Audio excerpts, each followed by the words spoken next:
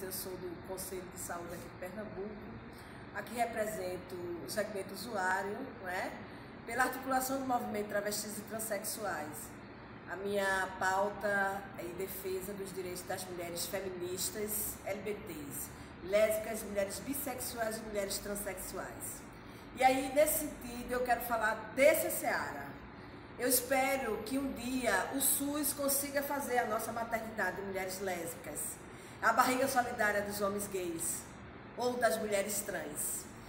É, é preciso que nós, LGBTs, sejamos vistas e vestidas por essa saúde, que ainda não compreende que nós somos parte dela. Então, nós mulheres LGBTs não somos uma parte diferente dessa saúde.